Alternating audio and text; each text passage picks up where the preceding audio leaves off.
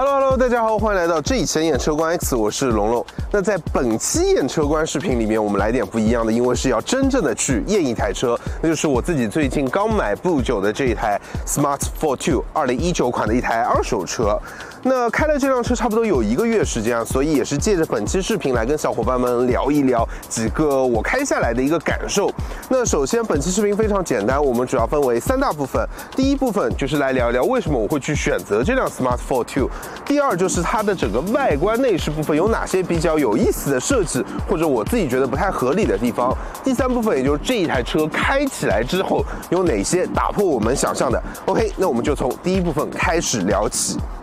那第一部分关于我为什么要去买这辆 Smart Fortwo 呢？那自然很简单的一个原因就是我们又拍中了一张沪牌，哎，所以现在我是有两张沪牌的男人啊！希望我们后期老师直接把两张沪牌披在我头上，告诉大家什么叫牌面。那当然这是开玩笑了，确实拍中沪牌是比较重要的一部分。但是其实，在我们拍牌之前，我跟我太太就已经商量好要去选择一台 Smart，因为我们两个人都是那种对于空间油耗完全不在意，同时又喜欢这种比较个性小车的家庭用户。所以我们第一台车选了 GTI，而第二台车就选择了一个 Smart。那很多小伙伴会说，其实想要选一个比较个性精致的小车，可能宝马的 Mini，或者说像是甲壳虫都是不错的选择。为什么你最后选了塑料感那么强的一个 Smart 呢？当时我们的预算是二十万，撇去车牌占据了呃一大半部分，剩下十万块想要去选择一个品控特别好的 Mini 或者甲壳虫，说实话是非常难的。那再加上我自己对于这辆 Smart 其实是有一定了解的。那无论是它整个外观颜值设计，包括它的变速箱从原本的 AMT 升级到六档双离合，我觉得都是一个值得去选择的理由。所以最终我们就把这辆 Smart 给带回家了。那第一部分我们主要聊的是为什么我会去选择这辆 Smart Fortwo 的原因。第二部分我们要来聊的就是这一台车在外观和内饰设计上比较有亮眼的地方。首先，其实在整个外观设计上，颜值就不多说了嘛。我个人觉得 Smart Fortwo 在它的一些车门机盖的设计上是蛮有意思的。首先就是前机盖。那首先要强调一点，这辆 Smart Fortwo 是一个后置后驱车型，所以在这个里面其实就是一些简单的水箱啊，包括像助力液、雨刮水的添加功能。打开很简单，在它的前进风罩这边其实有两个小掰手的，稍微一掰，然后就可以把整个机盖拿下来，这是非常轻松的一个过程。即便是女生也可以轻松去实现整个机盖的拆装，包括安放。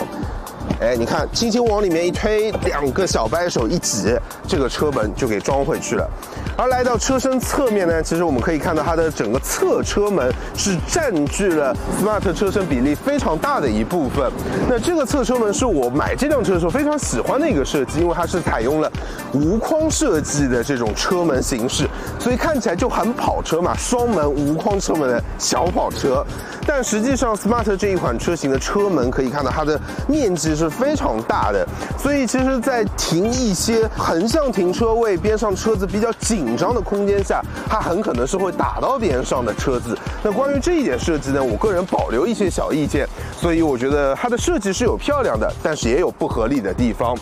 至于整个 Smart 车辆尾部的设计，其实是我最喜欢的一部分，因为它是采用了一个天地对开门的设计。当我们拿一些小件行李的时候啊，只要打开后门板上的玻璃窗就可以进行物件的放置。那如果我们需要放一些大件行李或者类似于登机箱的话，那我们只要拉起小扳手，把它的下半部分车门给放下来就 OK 了。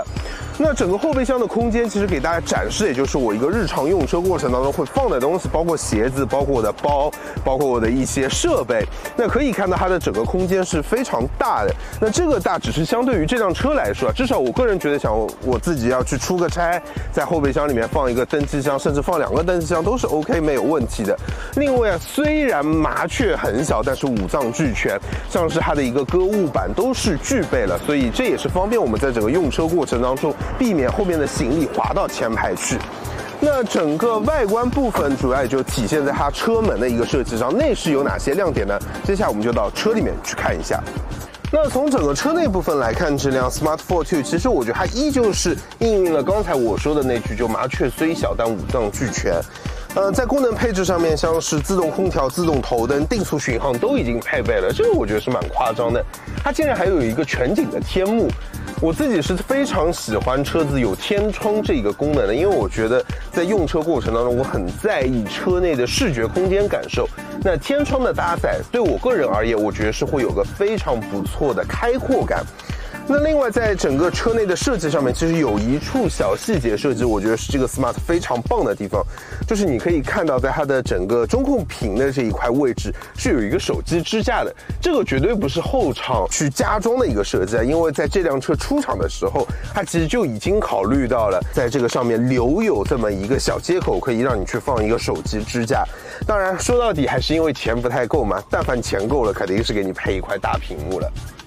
那关于动态部分，其实这辆 Smart Fortwo，我觉得从驾驶质感上面来说，它其实是蛮有意思的。虽然它的零百加速成绩官方给到的是已经超过十秒了，非常慢的一个速度，但实际上我的驾驶体感会觉得它跟我们的日系车是有点相似的。它的初段加速是比较迅猛的，所以你只要踩一下加速踏板，它就会有一个比较灵活或者说灵敏的一个动态响应。那这一点是我们没有想到的。但是作为一款三缸机来说，它确实抖的也是很厉害。正常行驶过程当中，可能我们感觉不会那么明显，但是当停下来怠速的时候，它真的会让我抖到全身肉都在发抖啊！所以关于这一点呢，其实我自己不是那么能接受。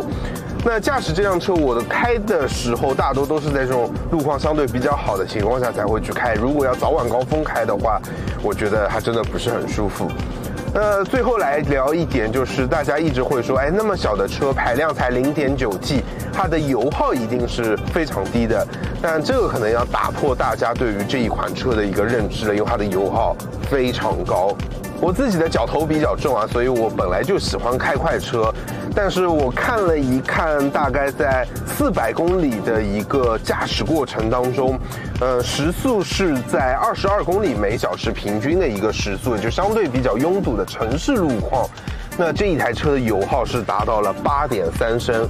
对于这样一个小尺寸、小排量的车来说，我觉得这个油耗显然是非常高的。但我只能用一句话来总结，就是因为我们家自己对于油耗不是那么在意，所以其实这个油耗对我来说是可以接受的。唯一有一点特别麻烦的就是它的油箱非常的小，才二十几升，所以基本上我可能每开两百多公里就需要去加一次油，那这个是有点不便捷的。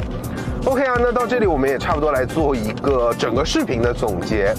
呃，Smart 这一款车型，直到现在我依旧还是非常喜欢它，因为它很小巧、很灵活，外观内饰都还是蛮有设计感的。当然，从整个动态驾驶上面来说，也是可圈可点，动力表现比我们想象的要好，但是油耗也确实非常的高，三缸有点抖动。那以上就是我对于这辆 Smart Fortwo 的一个总结。我相信，可能再过一段时间，可能开到一万公里的时候，我们再给大家来做一次报告，看一看一万公里的品质下面这一。台车表现是否还会有什么提升或者说下降？